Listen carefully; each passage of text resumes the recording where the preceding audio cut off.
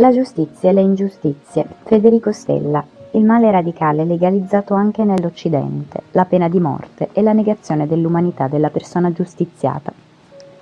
Ancora una volta, di fronte alla pena di morte, ci troviamo in presenza di membri della razza umana trattati come non umani, come oggetti con cui giocare per poi gettarli via.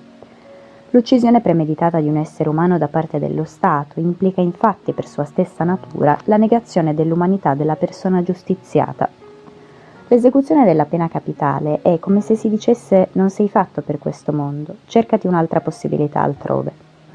Sotto questo profilo, la pena di morte appartiene a buon diritto, anche se preesistente al 1900, alla novità teorizzata ed eseguita su larga scala nel secolo scorso, l'abbandono dell'idea che tutti gli esseri umani partecipino ad una comune umanità. Questa constatazione è tanto più agghiacciante se si considera che la pena di morte è ancora in vigore in quella che è ritenuta la più grande democrazia occidentale, cioè gli Stati Uniti d'America, ed è tanto più agghiacciante da indurre la Corte Suprema eh, americana a pronunciarsi ripetutamente contro la sua permanenza. Riporto qui di seguito una sentenza della Corte Suprema del 1972, stesa per mano del giudice Brenna nel caso Furman contro Georgia.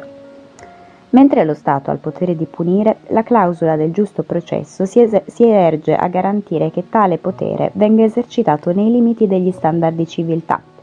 Alla fin fine la clausola della punizione crudele e inusuale proibisce l'inflizione di pene incivili ed inumane, lo Stato, anche quando punisce, deve trattare i suoi membri con rispetto per il loro valore intrinseco come esseri umani.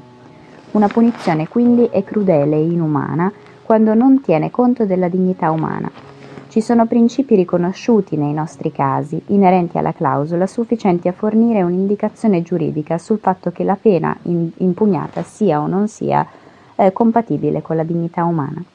Il principio basilare è che la pena non deve essere così severa da sminuire la dignità dell'essere umano. Il vero significato di queste pene è che trattano i membri della razza umana come non umani, come oggetti con cui giocare per poi gettarli via.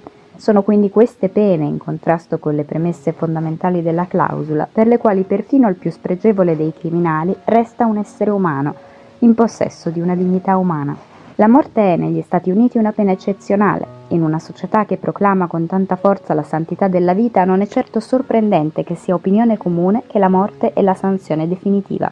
Questo è il sentimento umano naturale che si riscontra tutti intorno a noi. Non c'è stato nessun dibattito nazionale sulla pena in generale o sulla pena del carcere che possa venire paragonato al dibattito sulla pena di morte. Nessun altro tipo di punizione è stato così di continuo limitato, né ci sono degli stati che abbiano già abolito il carcere, come ce ne sono invece che hanno abolito la pena capitale e quegli stati che la combinano ancora la riservano ai delitti più nefandi. Le giurie, naturalmente, hanno sempre trattato in modo diverso i casi capitali, come pure hanno fatto i governatori che esercitano i loro poteri di commutazione della pena. Da quando, di tanto in tanto, viene messa in discussione la sua natura di pena costituzionalmente permissibile, la morte rimane l'unica punizione che può davvero rivelarsi una punizione terrificante, L'uccisione premeditata di un essere umano da parte dello Stato implica per sua stessa natura la negazione dell'umanità della persona giustiziata. Il contrasto con la situazione di chi è punito con il carcere è evidente. Un individuo in carcere non perde il diritto di avere diritti. Un carcerato ha pur sempre, per esempio, i diritti costituzionali della libertà di culto, della non applicabilità di pene severe e inusuali e di essere trattato come una persona ai fini del giusto processo e dell'equa protezione da parte della legge. Un carcerato resta un membro della famiglia umana e per di più conserva il diritto di accesso ai tribunali. La sua pena non è irrevocabile. A parte l'obiezione comune fondata sul riconoscimento della fallibilità umana, che la pena di morte sarà inevitabilmente inflitta anche a degli innocenti, sappiamo che la morte è stata il retaggio di uomini le cui convinzioni non erano costituzionalmente protette alla luce delle sentenze successive di questa Corte applicate retroattivamente. La pena stessa può essere stata inflitta in modo incostituzionale. Eppure la definitività della morte preclude la riparazione. Una persona giustiziata ha veramente perso il diritto di avere dei diritti, come ha dichiarato nel XIX secolo un sostenitore della pena di morte per i condannati, quando un uomo viene impiccato è la fine delle nostre relazioni con lui. La sua esecuzione è un modo di dire non sei fatto per questo mondo, cercati un'altra possibilità altrove. Oggi in confronto a tutte le altre pene, allora la soppressione deliberata di una vita umana da parte dello Stato è degradante in modo assolutamente unico per la dignità umana. Sebbene la pena di morte sia una pena che è stata inflitta attraverso tutta la nostra storia, in effetti la storia di questa pena è la storia di una progressiva limitazione dell'ambito di applicazione. Quella che era una volta una punizione comune è diventata nel contesto di un di continuo dibattito morale sempre più rara. L'evoluzione di questo tipo di pena dimostra che tale concetto eh, non fa inevitabilmente parte della scena americana, ma è diventato progressivamente più penoso per la coscienza nazionale. Il risultato di questo movimento di pensiero è il nostro sistema attuale di amministrare la pena nel quale le sentenze di morte vengono combinate raramente e anche più raramente inflitte. Siamo naturalmente noi, il popolo, ad essere responsabili della rarità sia dell'inflizione che dell'esecuzione di questa pena. Le giurie che esprimono la coscienza della, com- della comunità sulla questione ultima di vita o di morte sono state capaci di limitarsi a votare per la pena di morte in circa soli 100 casi o poco più, tra le migliaia di casi giudicati ogni anno in cui si potrebbe applicare la pena capitale. I governatori da noi eletti, che agiscono in nome di tutti noi, hanno regolarmente commutato un numero consistente di queste sentenze, ed è la nostra società che insiste col giusto processo di legge affinché nessuno possa essere ingiustamente mandato a morte, facendo così in modo che molte altre ancora di queste sentenze non vengano eseguite. Insomma, abbiamo reso la morte una punizione rara oggigiorno. Il declino progressivo e la rarità attuale dell'inflizione della pena capitale sta a dimostrare che la nostra società si interroga seriamente sull'adeguatezza di questo tipo di pena. Gli Stati sottolineano che molte legislature autorizzano la morte come pena per certi reati e che gruppi consistenti dell'opinione pubblica continuino a sostenerla, come dimostrato eh, dalle inchieste e i voti dei referendum. Quando una pena insolitamente severa è autorizzata per un'applicazione su larga scala ma di fatto non inflitta, salvo che in rare occasioni perché rifiutata dalla società, se ne deve necessariamente inferire che c'è una riluttanza profondamente radicata ad infliggerla. Per la verità c'è una forte probabilità che questa pena sia tollerata proprio perché poco usata, se l'estinzione deliberata di una vita umana ha un qualche effetto di qualche tipo, è più probabile che sia quello di diminuire il nostro rispetto per la vita e di violentare i nostri valori. Insomma, la morte è una pena insolitamente severa e degradante. C'è una forte probabilità che venga inflitta in modo arbitrario, il suo rifiuto da parte della società contemporanea è praticamente totale e non c'è alcun motivo di pensare che serva a qualche scopo penale in modo più efficace della punizione meno severa della detenzione. La funzione di questi principi è di permettere alla Corte di decidere se la pena è compatibile con la dignità umana. La morte semplicemente non lo è. La constatazione più terrificante è che nei diversi paesi in cui è praticata la pena di morte, Afghanistan, Bangladesh, Bielorussia, Libia, Egitto, India, Indonesia, Iran, Giappone, Giordania, Corea del Sud, Kuwait, Libano, Pakistan,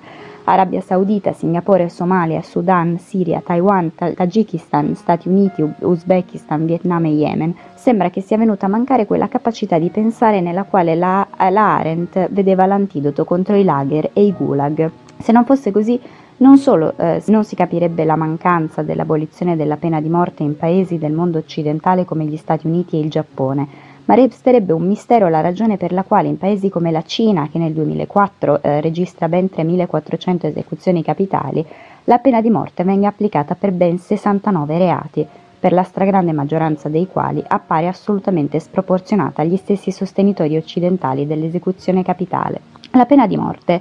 È infatti prevista ed eseguita per reati come l'evasione delle imposte, la frode fiscale, la frode finanziaria, la speculazione, la vendita di fatture false, la corruzione, la concussione, eh, l'aggressione a pubblico ufficiale, la bigamia, l'appropriazione indebita di fondi pubblici, le lesioni, il contrabbando di sigarette, il contrabbando di macchine, il danneggiamento di proprietà pubblica o privata, il furto il gioco d'azzardo, l'omicidio colposo, il tentato omicidio, eh, la rivendita di ricevute IVA, la violenza, la prostituzione, la rapina e i reati informatici.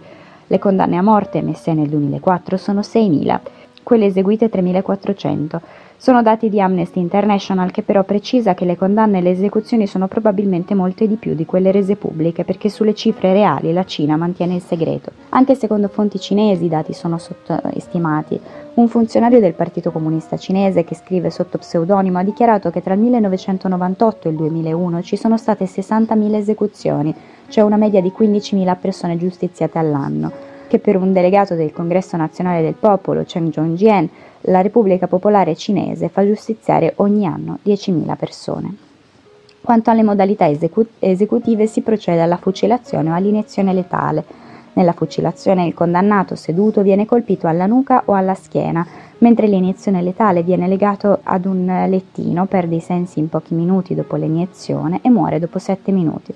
È accaduto però che in alcuni casi i condannati abbiano impiegato 8 minuti per perdere i sensi e 14 per morire. Ciò che maggiormente preoccupa le organizzazioni come Amnesty International o istituzioni come il Comitato internazionale sui diritti civili e politici è il modo in cui vengono condotti i processi. Sia l'accusa che i rappresentanti del sistema giudiziario penale non seguono le procedure previste dal codice cinese stesso, in questo aiutate dalle autorità che lanciano campagne regionali e nazionali del tipo Strike Hard. Gli imputati in stato di detenzione non vengono assistiti da un avvocato, non hanno l'opportunità di organizzare la loro difesa, corrono un rischio continuo di essere torturati o comunque maltrattati perché confessino e la loro confessione verrà usata in aula contro di loro. I testimoni possono venire intimiditi e gli imputati non hanno il diritto di controesaminarli. Le sentenze possono essere pronunciate da comitati interni senza che ci sia un processo. Gli eventuali appelli possono essere respinti da giudici che si pronunciano a porte chiuse. Le campagne anticrimine strike hard non fanno che aumentare il tasso di esecuzioni capitali.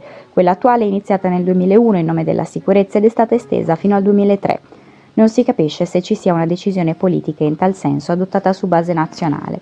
E nel dicembre 2003 il presidente della Corte Suprema del Popolo, Xiao Yang, ha chiesto che la campagna venga prolungata per contrastare l'aumento continuo dei reati della Repubblica Popolare Cinese. Ecco dunque nuovi esseri superflui per la Repubblica Popolare Cinese. Che cosa fare?